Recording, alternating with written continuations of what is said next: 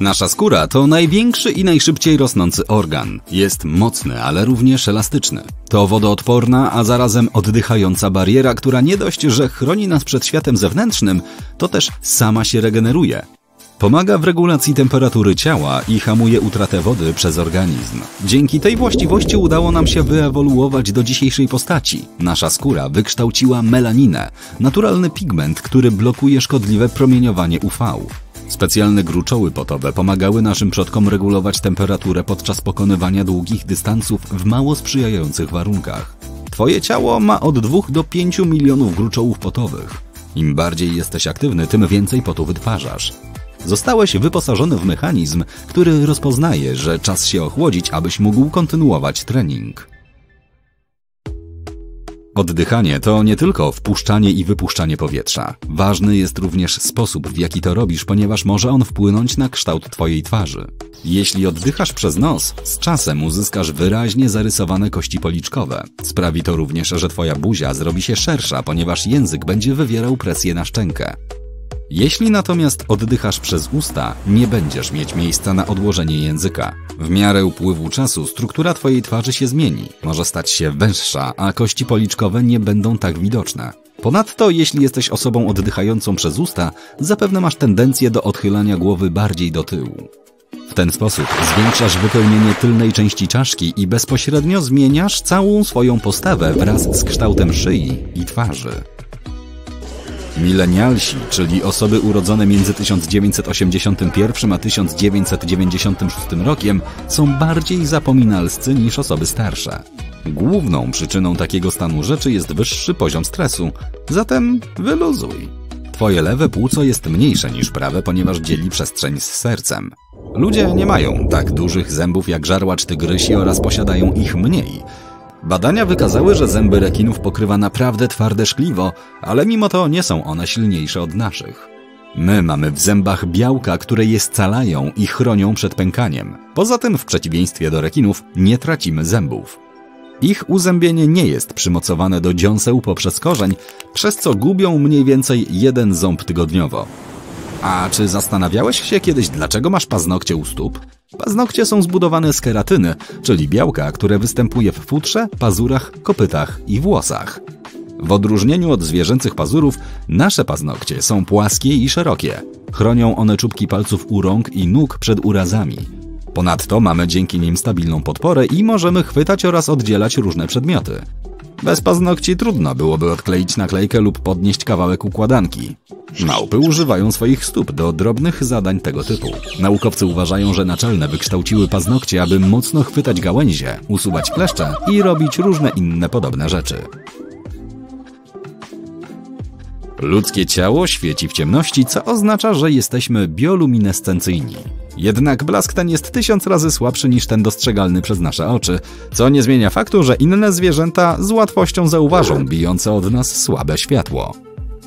Twój wzrok jest dość czuły, ale prawie nigdy nie masz szansy zweryfikować wrażliwości swoich oczu z powodu wszechobecnego światła, które cię otacza.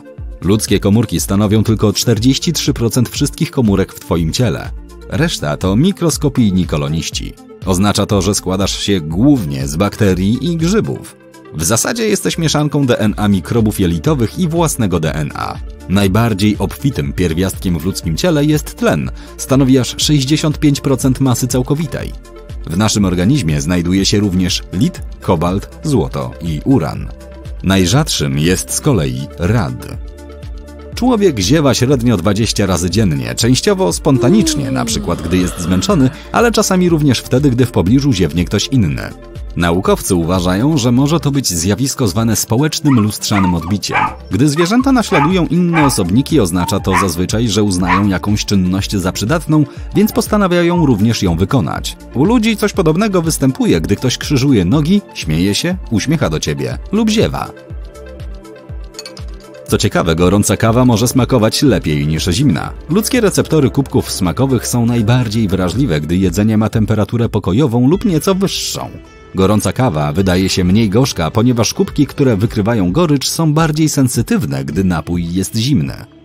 Twój mały paluszek to potężna część ciała. Bez niego ręka straciłaby znaczną część swojej mocy. Z kolei palce wskazujące i środkowe współpracują z kciukiem, aby chwytać i szczypać, a palec wskazujący wraz z palcem serdecznym zapewniają siłę chwytu. Twoje kości są cztery razy twardsze niż beton. Najmocniejszą kością w ludzkim ciele jest kość udowa. Może ona utrzymać ciężar nawet 30 dorosłych ludzi. A jeszcze ciekawsze jest to, że nasze kości składają się z materiału kompozytowego, co oznacza, że są jednocześnie twarde i elastyczne. Zewnętrzna warstwa Twojej skóry, czyli naskórek, jest grubsza na stopach niż na innych częściach ciała.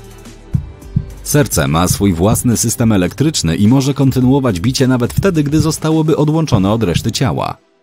Średnia długość życia jednego włosa brwiowego to 4 miesiące. 40% naszej bytności na tej planecie spędzamy z zamkniętymi oczami.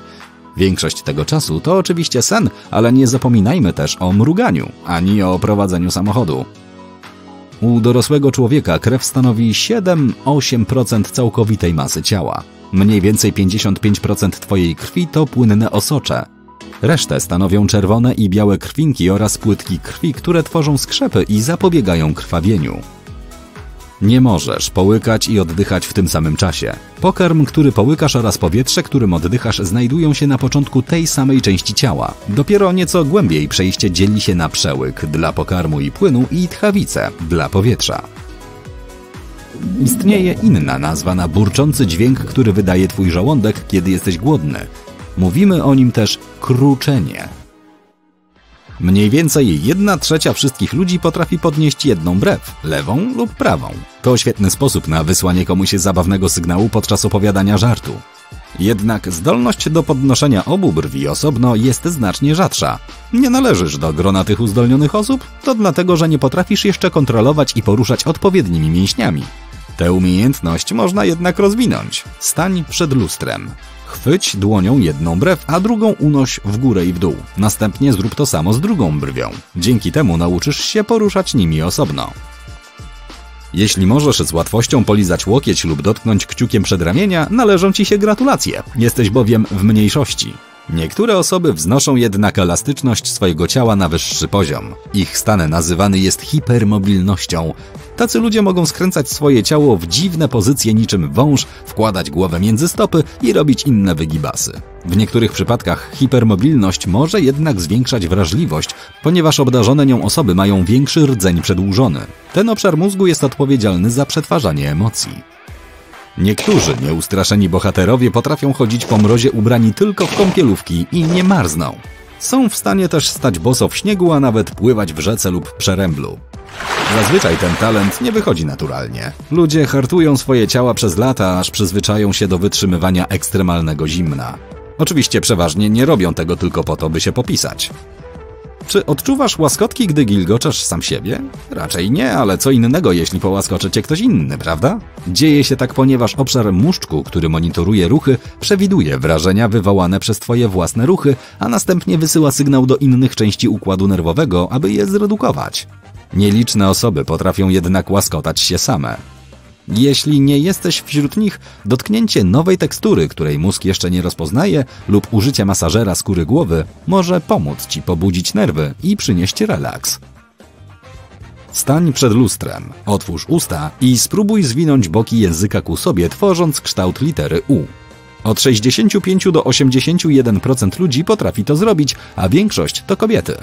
Niektórzy uważają, że jest to zdolność genetyczna, ale ostatnie badania wykazały, że ludzie mogą rozwijać tę umiejętność poprzez ćwiczenia. Khechari mudra to termin z jogi, który oznacza zwijanie czubka języka z powrotem do gardła. Czy potrafisz umyślnie machać uszami? Brawo! Okazuje się, że zaledwie 22% ludzi na Ziemi umie poruszać jednym uchem. Jeśli chodzi natomiast o poruszanie oboma naraz, potrafi to jedynie 18% populacji. Machanie uszami było całkiem normalne dla naszych odległych przodków. Naukowcy uważają, że umieli oni wykonywać różne ruchy tą częścią ciała. Grupa mięśni odpowiedzialnych za poruszanie uszami mieści się w małżowinie usznej i we większości nie jest nam dziś potrzebna. Niektórzy jednak twierdzą, że każdy może się tego nauczyć, potrzeba tylko czasu i praktyki.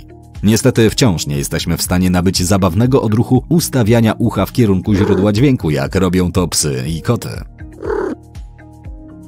Albinosi mają bardzo niski lub wręcz zerowy poziom melaniny, barwnika odpowiedzialnego za kolor włosów, skóry i oczu. To rzadka przypadłość. W Stanach Zjednoczonych dotyczy jednej na 18 do 20 tysięcy osób. Ale albinizm oczny jest nawet bardziej nietypowy. Eksperci nie mają dokładnych danych, ale przypuszcza się, że ma go zaledwie jedna na 50 tysięcy osób. Albinizm oczny, jak nazwa wskazuje, dotyka jedynie oczu. Skóra i włosy mogą być nieco jaśniejsze niż u innych członków rodziny, ale różnica nie będzie znacząca. 17 do 35% ludzi kicha pod wpływem promieniowania słonecznego. Nazywamy to odruchem kichania świetlnego. Grecy natomiast wymyślili zgrabny termin słoneczne kichanie. Ten odruch tłumaczy się nieprawidłowością w transmisji sygnałów w układzie nerwowym. Jasne słońce sprawia wówczas, że jeden z nerwów błędnie reaguje, a to znaczy, że światło powoduje nie tylko kurczenie się źrenic, ale również podrażnia błony nosowe. Naturalnie jasne włosy to rzadkość u dorosłych. Najczęściej z wiekiem włosy ciemnieją. Większe prawdopodobieństwo utrzymania jasnego koloru występuje u mieszkańców północy. Badżawowie to koczownicza grupa etniczna zamieszkująca wybrzeża Filipin, Indonezji i Malezji. Dzięki rzadkiej mutacji DNA są w stanie pozostawać pod wodą nawet do 13 minut. U morskich koczowników doszło do rozrostu śledziony, więc jest ona znacznie większa niż przeciętnie. Ta cecha daje im genetyczną przewagę.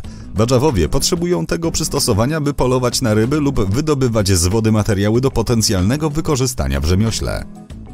Specyficzna mutacja genetyczna powoduje zwiększoną gęstość kości, także są one niezwykle odporne na złamania. Tego rodzaju kości są kilkukrotnie mocniejsze niż u przeciętnego człowieka.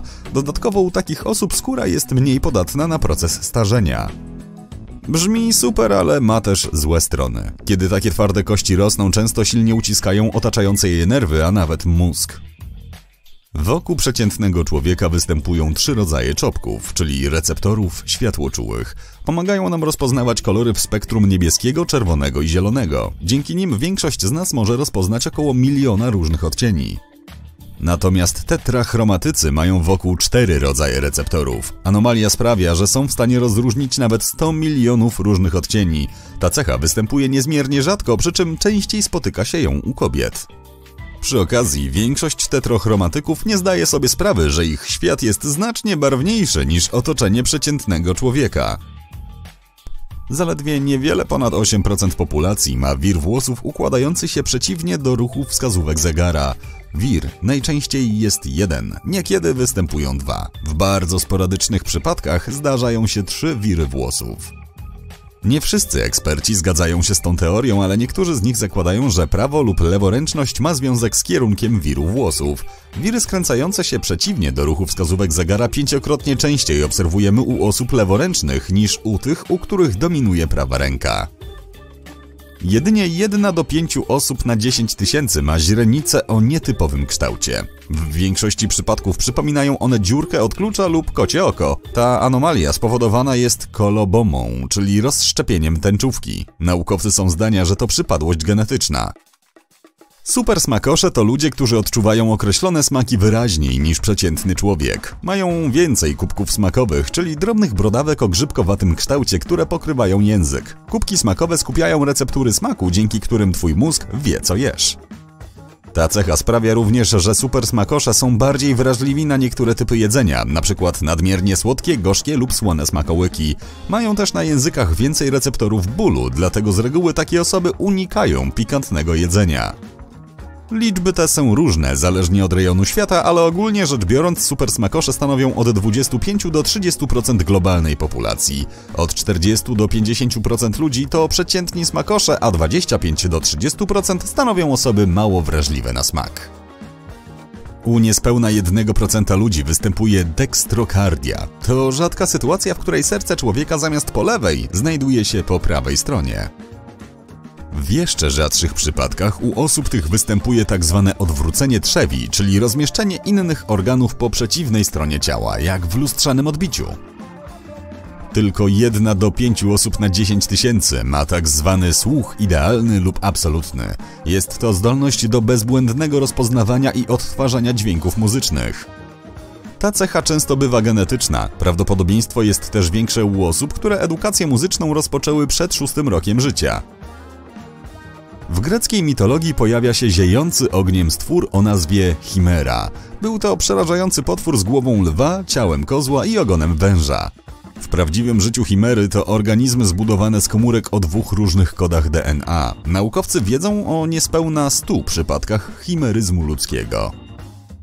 Mutacja genu DEC2 pozwala ludziom spać znacznie krócej niż przeciętny człowiek i nadal w pełni się regenerować. Ci szczęściarze nie odczuwają w dzień zmęczenia i nigdy nie zdarza im się zaspać. Z reguły wstają o 4 lub 5 rano. Zupełnie nie jak ja. Zaledwie około 5% populacji jest do tego genetycznie przystosowana.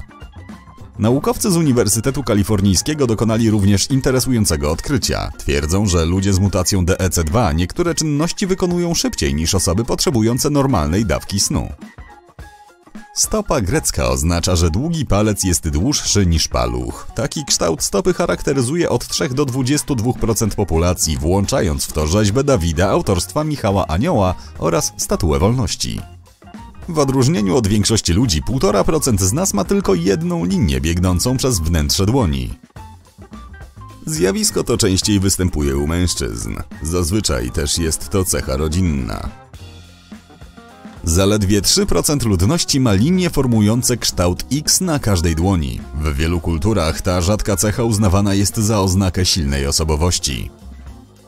Jedna na 500 osób ma dodatkowy wyrostek kostny nazywany żebrem szyjnym. Przeciętny człowiek ma 24 żebra, czyli 12 par rozmieszczonych symetrycznie po obu stronach ciała. Natomiast ci szczęśliwcy mają ich 25, a nawet 26.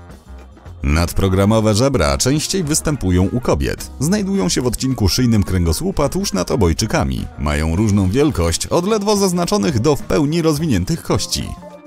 W większości przypadków żebra szyjne nie przeszkadzają w normalnym funkcjonowaniu, chyba że są za duże, a wtedy mogą powodować dyskomfort. Niewiele więcej niż 50 osób na świecie ma grupę krwi RH-0, tak cenną, że nadano jej przydomek złota krew. Może być wykorzystywana do transfuzji u osób o niezmiernie rzadkich typach krwi, które nie mogą przyjąć żadnej innej grupy. Po raz pierwszy ten typ krwi odkryto u pewnej aborygenki. Jeśli macie malutką dziurkę przy uchu, jesteście wyjątkowi. Występuje ona tylko u 5% ludzi na świecie. W Stanach Zjednoczonych mniej więcej 1% ludzi rodzi się z tą cechą. W Azji i niektórych częściach Afryki liczba ta jest nieco wyższa, od 4 do 10%. Ta cecha jest często dziedziczona. Może występować przy jednym lub obu uszach z rozłożeniem 50 na 50%. Bywa, że jest to dziurka na wylot, ale może też mieć formę płytkiego wgłębienia, a nawet małego wybrzuszenia. Istnieje teoria, że ta specyficzna dziurka to atawizm, pozostałość z czasów, gdy wszystkie żywe istoty miały skrzela. Określona mutacja genetyczna pomaga ludziom utrzymać poziom cholesterolu w ryzach. W tym przypadku gen nakazuje organizmowi produkować białko, które ogranicza ilość cholesterolu we krwi. Niestety tylko 2-3% populacji posiada tę użyteczną zdolność. Około 65% ludzi ma odciski palców w kształcie pętli. Kolejne 30% odcisków palców jest w kształcie wiru, a tylko 5% z nas ma odciski w kształcie łuku. Mogą to być łuki zwykłe lub łamane. Jakieś 35% ludzi na świecie nigdy nie pozna, co to znaczy ból i dyskomfort, gdy wyżyna się ósemka. Oni po prostu nie mają tych zębów. Natomiast około 500 milionów nieszczęśliwców rocznie przechodzi piekło usuwania zęba mądrości. Niektórzy ludzie mają więcej niż jeden rząd rzęs. Za zjawisko to odpowiada mutacja genetyczna dystychia. U takich osób drugi rząd rzęs wyrasta za pierwszym.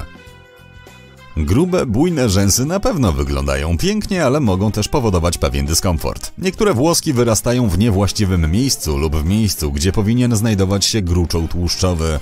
Mogą też powodować podrażnienia i uzawienie. Naukowcy są pewni, że Tybetańczycy zaadaptowali się genetycznie do życia na dużych wysokościach. Posiadają gen, który pomaga im zadziwiająco szybko przystosować się do rozrzedzonego górskiego powietrza.